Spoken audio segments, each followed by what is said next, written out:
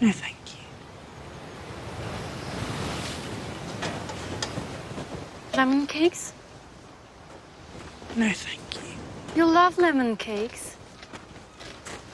Tell her she needs to eat. My lady, you do need to eat. I don't want to eat.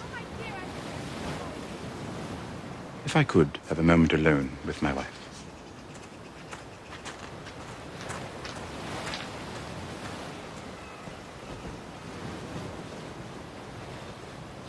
She needs to eat.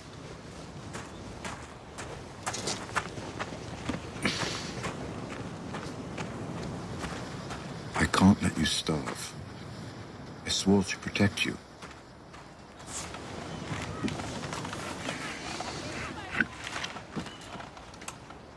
My lady, I am your husband. Let me help you. How can you help me? I don't know, but I can try. I lie awake all night, staring at the canopy, thinking about how they died. I could get you essence of nightshade to help you sleep. Do you know what they did to my brother? How they sewed his direwolf's head onto his body.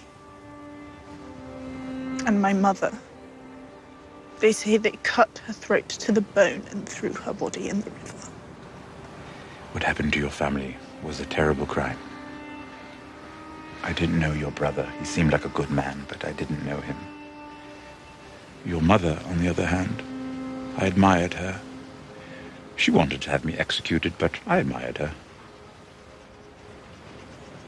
She was a strong woman. And she was fierce when it came to protecting her children. Sansa.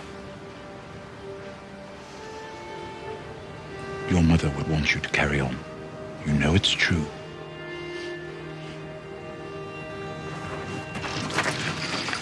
Will you pardon me, my lord? I'd like to visit the Godswood. Of course, of course. Prayer can be helpful, I hear.